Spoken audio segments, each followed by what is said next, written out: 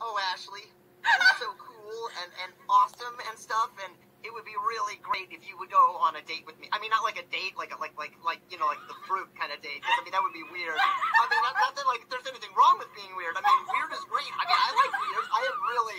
Oh, I put my foot in my mouth. I, I mean, not literally, but then I would actually taste what my feet taste like. And my feet are actually really disgusting. But